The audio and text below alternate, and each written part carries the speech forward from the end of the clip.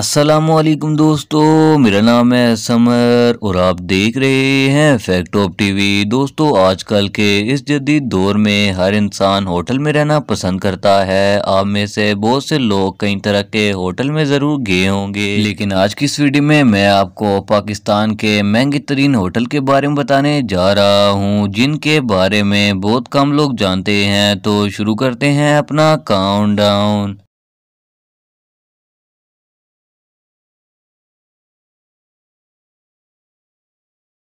Serena hotel Islamabad. दोस्तों, Serena hotel Islamabad का सबसे मशहूर फाइव स्टार होटल है, जो कि इस्लामाबाद के अंदर मौजूद है। ये होटल इस्लामाबाद की मशहूर पहाड़ी मार्गला के करीब मौजूद है। ये पाकिस्तान का सबसे खूबसूरत तरीन होटल है, जिसमें स्विमिंग पूल रेस्टोरेंट्स और हर तरह की आसाइश मौजूद है। दोस्तों, ये होटल चौदह एकड़ पर बना हुआ है और इसमें तीन सौ सतासी कमरे बनाए गए हैं। इसके हर कमरे के और हर कमरे की खिड़की से मार्गला पहाड़ी का खूबसूरत नज़ारा लिया जा सकता है। इसका एक दिन का रेंट तकरीबन 40 से अड़तालीस हज़ार रुपये है और ये पाकिस्तान का सबसे महँगा तरीन फाइव स्टार होटल है।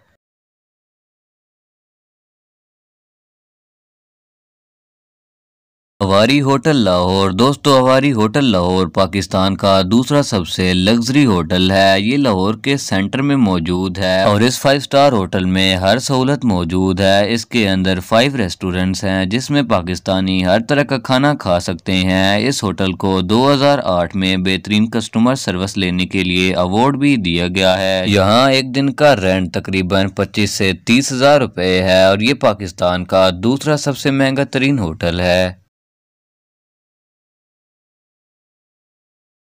शेराटोन होटल दोस्तों शेराटोन होटल कराची में समंदर के किनारे पर मौजूद है, जो कि कराची एयरपोर्ट से तकरीबन 17 मील की दूरी पर है। ये पाकिस्तान का तीसरा सबसे बड़ा फाइव स्टार होटल है और इसके अंदर 407 लग्जरी कमरे मौजूद हैं। दोस्तों, इस होटल में स्विमिंग पूल जिम और बेहतरीन खानों की सहूलत मौजूद है। इस होटल की बिल्डिंग को ज़िले से बचाने के लिए जदीद टेक्नोलॉजी से बनाया गया है और इसका डिज़ाइन ऐसा बनाया गया है है, जो कि जिला प्रूफ है। इस होटल में एक दिन रहने का रेंट तकरीबन बीस से पच्चीस हज़ार रूपए है। ये पाकिस्तान का तीसरा सबसे महँगा तरीन होटल है।